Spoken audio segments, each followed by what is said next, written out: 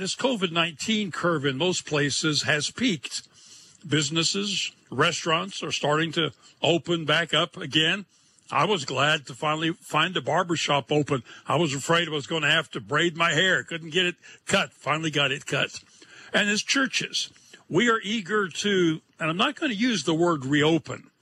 Sam has been using the word regather to describe this, and I like that. Now, Sam Rohrer is with me as co host of the program today. But, Sam, could I put you for just a moment in the guest's chair and ask you why you have described the church not as reopening, but as regathering? Tell us why. Keith, absolutely. And I think as you've touched on it there, but even as we did on the Zoom conference call with a lot of pastors just the other day on this matter of regathering, we had Matt Staver from Liberty Counsel, and we talked about this. But fundamentally, we have to understand that the governors of the states, the president, whoever that may be, the executive branch has no constitutional authority to tell churches how they worship, their mode of worship, their form of worship, or any of that. So that's a first part. And the other part I'm saying is that because of that, the governors cannot constitutionally, before God, tell a church they cannot meet.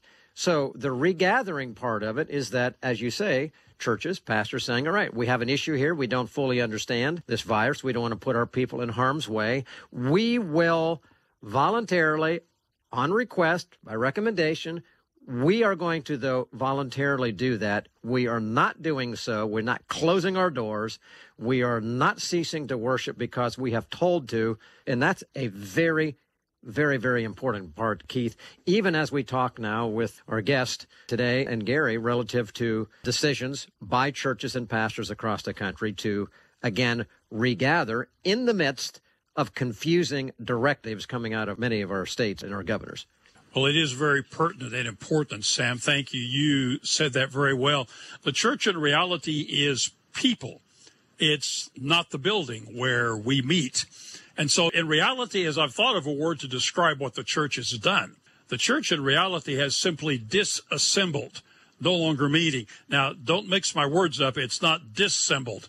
That's a whole different animal.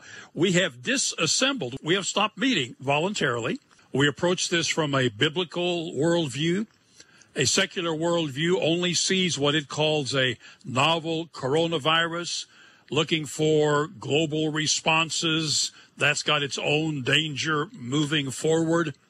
But we see this virus as just the result of the curse of sin under which all of humanity rests. And actually, the disassembling of a church for something like this is not novel. It's happened before.